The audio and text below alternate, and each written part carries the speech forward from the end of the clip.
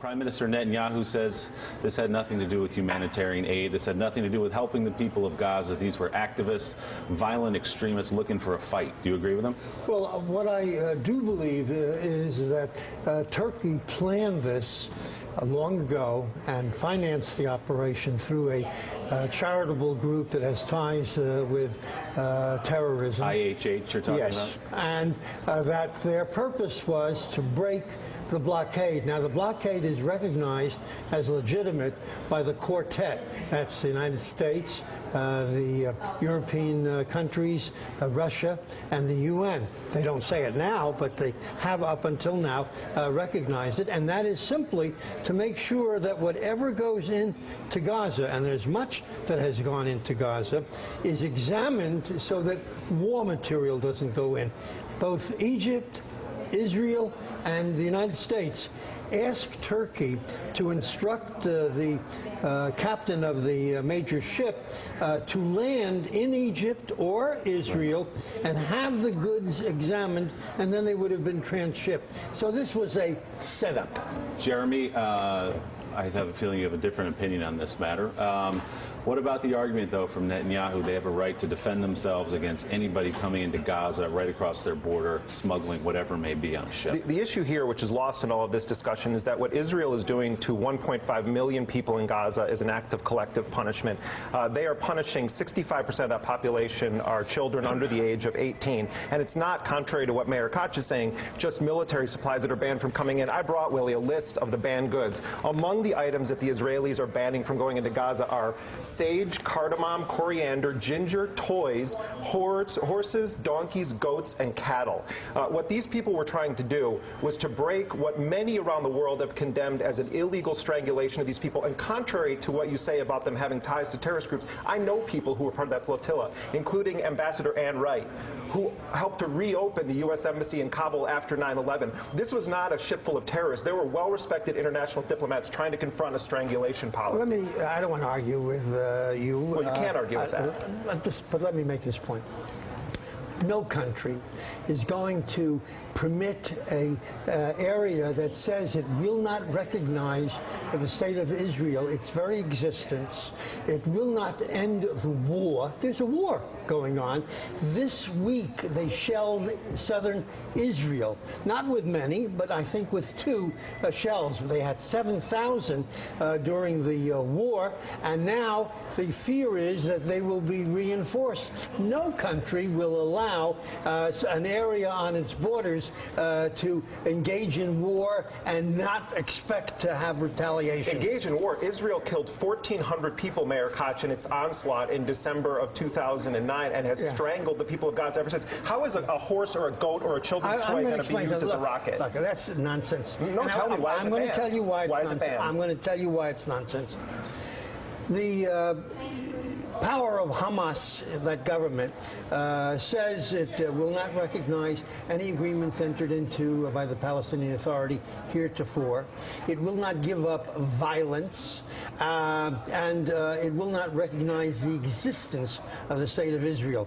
And you have the quartet, which is the United States and Right. Russia, the European countries, and the UN saying they will not deal uh, with uh, Hamas. You expect them to uh, have, uh, permit uh, uh, war material to enter and to be used against Israel? They'd have to be nuts. Every member of the UN Security Council, except the United States, has called for a lifting of the blockade and the siege of Gaza. have they called, United have, States have they called state for Israel are doing Hamas this. to recognize the existence of the state of Israel? Have they asked? you tell me something. Is it hold a on, violation of Hold on. One at a time, Have one they at a time. called on Hamas uh, to give up violence? The answer is no. There- that is not a justification Oh, no, for I think strangling it is. children. Oh, really? Oh, Guys, let's please. no, don't hold tell me thoughts. children. It, it is. Have you Uh, read the uh, UN look, report? Guys, about we're the it's very simple. Hold the thought. Hold on one second, guys. We're going to take a quick break. We're going to keep you both here, if that's all right, and continue this conversation in just a minute. We'll be right back. And Jeremy Scahill focusing on the free flow of donkeys into Gaza is what we're looking at. Uh, Mayor Koch, uh, the State Department itself telling NBC and, and other um, outlets today that it's time for a new approach to Gaza. The blockade is not working. Do you Oh, disagree well, I that? believe uh, that Israel would welcome an opportunity to have all of this war material or non-war material, whatever uh, is being brought to Gaza's shores, go through Egypt.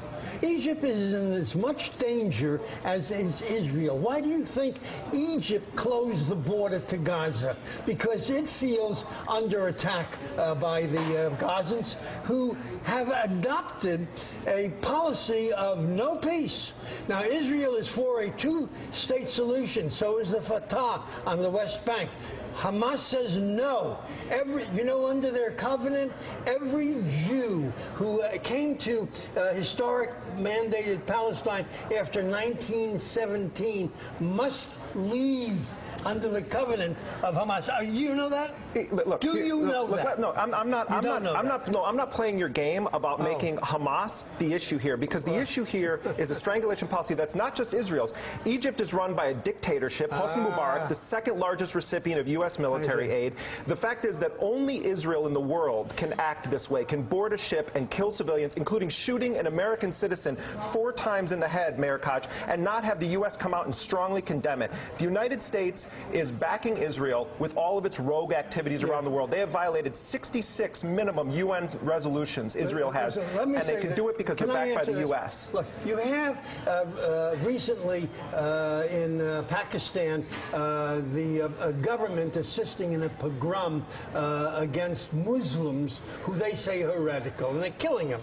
In the Sunni and the Shiites have killed hundreds of thousands of uh, Muslims by other Muslims.